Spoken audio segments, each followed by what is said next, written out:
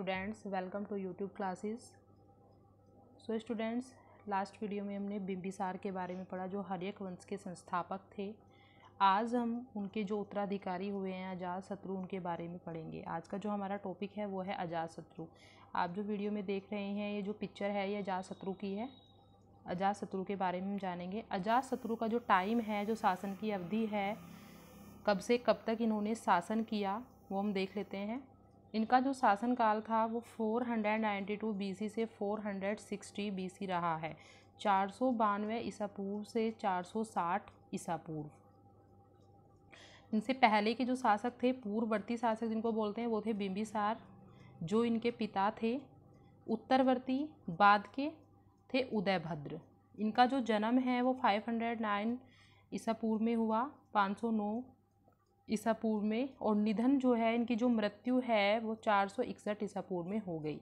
इनकी जो वाइफ थी, उनका नाम, उनकी, इनकी पत्नी का जो नाम था, वो था राजकुमारी वज़ीरा। इनकी पत्नी का नाम राजकुमारी वज़ीरा था। इनकी जो संतान थी मतलब इनके एक पुत्र थे, उनका नाम था उदयभद्र। बाद में, इनके बाद के शासक इनके जो उत्तराधिकारी होते हैं, वो उदयभद्र ही होंगे। उदयभद्र को उदायन भी कहा जाता है। इनका जो घराना है, परिवार की जो बात करते हैं हम, वो है हरियक वंश। हरियक वंश से थे ये। सेकंड शासक है आज़ाद शत्रु पहले बिंबिसार हुए हैं। आप सभी ये बात याद रखेंगे।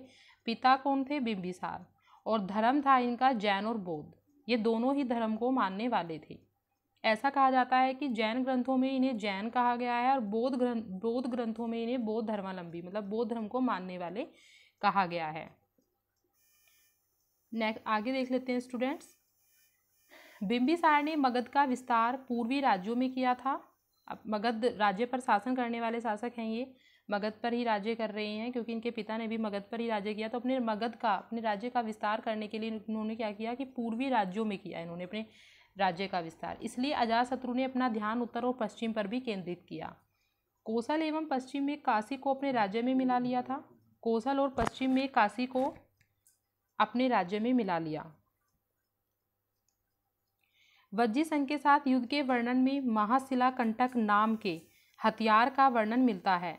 ऐसा कहा जाता है कि वज्जी संघ के साथ जो इनका युद्ध हुआ था वज्जी संघ पर जब इन्होंने विजय प्राप्त की थी अजात शत्रु ने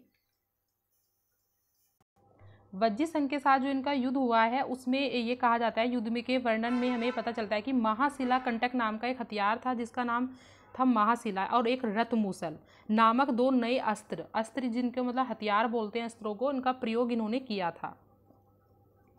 जो एक बड़े आकार के यंत्र थे, इसमें बड़े बड़े पत्थरों को उछलकर मार, मारा जाता था। बड़े बड़े पत्थरों को उछाला जाता था और उससे वो मारते थे। आप पिक्चर में देख सकते हैं, ऐसा ये यंत्र था, स्टूडेंट्स। पाली ग्रंथों में अजात शत्रु का नाम अनेक स्थान पर आया है, क्योंकि वह बुद्ध के समकालीन थे। बुद्ध के समका, बुद्ध और महावीर स्वामी के समकालीन थे और मखली पुत्र गोसाल के समकालीन थे ये। और इन्हीं के समय में इन सभी को, इन तीनों को, बुद्ध को और महावीर को और मखली पुत्र गोसाल को, जो मखली पुत्र गोसाल को निर्वाण की प्राप्ति हुई थी। आजीवक संप्रदाय के संस्थापक थे मखली पुत्र गोसाल। इन, और महात्मा बुद्ध और महावीर स्वामी, इन्हें निर्वाण की प्राप्ति हुई इन्हीं के समय में अजात शत्रु के समय में। उन, उसके मंत्री वस्कार कुशल राजनीतिज्ञ थे, जिसने लिच्छवियों में फूट डालकर साम्राज्य का विस्तार किया था। इनके मंत्री का नाम था वस्कर। इनके जो मंत्री थे, उनका नाम वस्कर था। इन्होंने क्या किया था कि लिच्छवियों में फूट डाली थी और अपने साम्राज्य का विस्तार किया था और वैशाली को नष्ट करने में उन्हें, उसे 16 साल का लंबा लंबा समय लगा था। जिससे कि उन्होंने सफलताएँ इसलिए मिली क्योंकि इस युद्ध में उन्होंने जो दो मैंने हथियारों के नाम बताए हैं, रत्न, मुसल और महाशिला कंटक नामक दो अस्त्रों का प्रयोग किया। इसलिए इसलिए इन्हें इस युद्ध में सफलता प्राप्त हुई। इतिहासकारों द्वारा दर्ज अजात शत्रु की मृत्यु का जो खाता है मतलब जो अजात शत्रु की मृत्यु है, वो कब हुई है? 560 में 560 ईसा पूर्व में इनकी मृत्यु मानी जाती है, जो ज़्यादातर इतिहासकारों द्वारा। इतिहास में इन्हें पितृहंता वंश के नाम से भी जाना जाता है। ये मैं आपको बता चुकी हूँ कि हरियक वंश को पितृहंता वंश के नाम से जाना जाता है, क्योंकि इस वंश में जो भी शासक हुए हैं, वो अपने पिता की हत्या करके ही उन्होंने राजगद्दी हासिल की है। जैन ग्रंथ जो है, आवश्यक जैन ग्रंथ आवश्यक चूर्णी के अनुसार अजात शत्रु जो है भगवान महावीर से मिलने गए थे। जैन ग्रंथ जो है, ये कहते हैं कि जो अजात शत्रु है, वो भगवान महावीर से मिलने गए थे। और इनके समय में अजात शत्रु के ही समय में प्रथम बौद्ध संगति का आयोजन किया गया था। राजगृह के अंदर प्रथम बौद्ध संगति का आयोजन किया गया था क्योंकि ये जैन धर्म को भी मानते थे और बौद्ध धर्म को भी।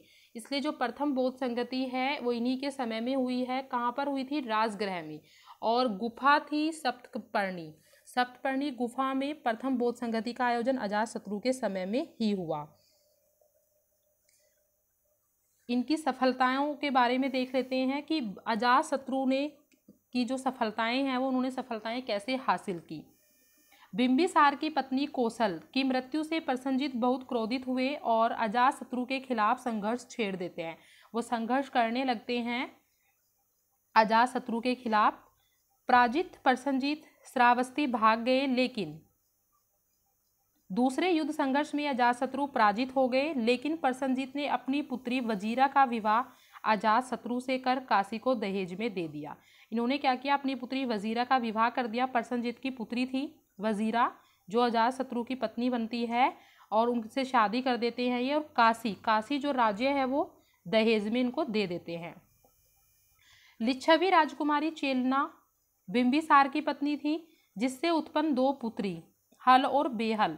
को उसने अपने अपना हाथी और रत्न का एक हार दिया था। उसकी जो दो पुत्री थी, हल और बेहल, उसने क्या किया था कि अपना हाथी और रत्नों का हार दिया। अजात शत्रु ने लिच्छवियों के खिलाफ अजात शत्रु ने लिच्छवियों के खिलाफ युद्ध घोषित कर दिया और वस्कर से लिच्छवियों के बीच फूट डलवा दी। वस्कर कौन थे? इनके सेनापति थे। और वस्कर से लिच्छवियों के बीच फूट डलवा डालकर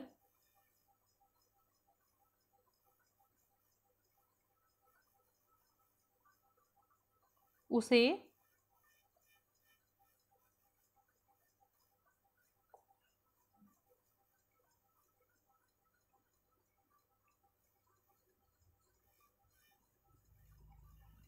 लिच्छवियों के खिलाफ फूट डालकर उसे पराजित कर दिया और लिच्छवी अपने राज्य में मिला लिया। जो लिच्छवी राज्य था, जो गण राज्य था ये उसे अपने राज्य में मिला लेते हैं, मगध में मिला लेते हैं। अजात शत्रु ने मल संघर्ष, मल जो संघ है, उस पर भी आक्रमण कर अपने अधिकार में कर लिया। उस पर उन्होंने आक्रमण किया और उसे अपने अधिकार में कर लिया। मल संघ पर भी इन्होंने आक्रमण किया और उसे अपने अधिकार में कर लिया। अजात शत्रु ने अपने प्रबल प्रतिद्वंदी अवंती राज्य पर भी आक्रमण करके विजय प्राप्त की। जो उनके प्रतिद्वंदी थे, अवंती राज्य। अवंती राज्य पर भी इन्होंने आक्रमण किया और सफलता हासिल की और उसे अपने राज्य में मिला लिया। अजात शत्रु धार्मिक उदार सम्राट थे और विभिन्न ग्रंथों के आधार पर वह बौद्ध और जैन दोनों मत के अनुयायी माने जाते हैं।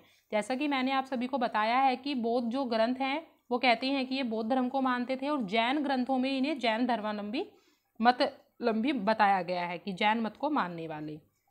लेकिन भरूत स्तूप की एक वेदिका के ऊपर अजात शत्रु बुद्ध की वंदना करते हुए दिखाए गए हैं। भरूत का जो स्तूप है, उसके, उसकी जो वेदिका है, उस पर अजात शत्रु को बुद्ध की वंदना करते हुए बुद्ध की पूजा जैसे करते हैं, वंदना वंदना करते हुए उन्हें दिखाया गया है। सिहली अनुश्रुतियों के अनुसार उन्हें लगभग बत्तीस वर्षों तक उन्होंने शासन किया और 460 ईसा पूर्व में अपने पुत्र उदयन द्वारा वे मारे गए। उनके जो पुत्र थे उदयन, जिनका नाम उदयभद्र मैंने बताया, उदयभद्र या उदयन उदाइन उदाइन या उदयन या उदयभद्र, उनके द्वारा वे मारे जाते हैं। अजातशत्रु के शासनकाल में महात्मा बुद्ध चार सौ तिरसठ ईसा पूर्व में महानिर्वाण तथा महावीर को भी कैवल्य की प्राप्ति हुई। महावीर को कैवल्य कब प्राप्त हुआ?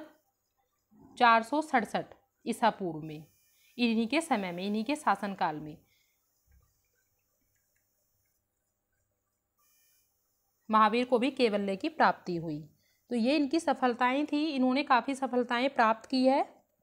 वे मगध पर हमला करने की, इन्होंने क्या किया था कि इसी खतरे का सामना करने के लिए अजात शत्रु ने राजगिर की, जो राजगिर था राजगृह जो था राजगृह इनकी राजधानी थी तो उसकी किलेबंदी कर दी थी। और किलेबंदी की दीवारों के जो अवशेष है, वो आज भी हमें देखने को मिलते हैं। ऐसा कहा जाता है कि इन्होंने अपने राज्य की रक्षा करने के लिए जो इनकी राजधानी थी, राजगीर राजगृह उसकी किलेबंदी कर दी थी और किलेबंदी की जो दीवारें हैं वो आज भी हमें देखने को मिलती है। परंतु जो अजात शत्रु के जीवन काल में अवंती को मगध पर हमला करने का अवसर नहीं मिला। अजात शत्रु के समय में ही बुध और महावीर, मख, मखली पुत्र गोसाल जैसी विभूतियों को निर्माण की प्राप्ति हुई। ये मैं आपको बता चुकी हूँ कि इन दो, इन तीनों को निर्माण प्राप्त हुआ था इन्हीं के टाइम पर। सो स्टूडेंट्स अपने राज्य की रक्षा की इन्होंने और मगध को मगध के, मगध साम्राज्य का विस्तार किया। आज के वीडियो में इतना ही। नेक्स्ट वीडियो में नेक्स्ट टॉपिक की बात करेंगे।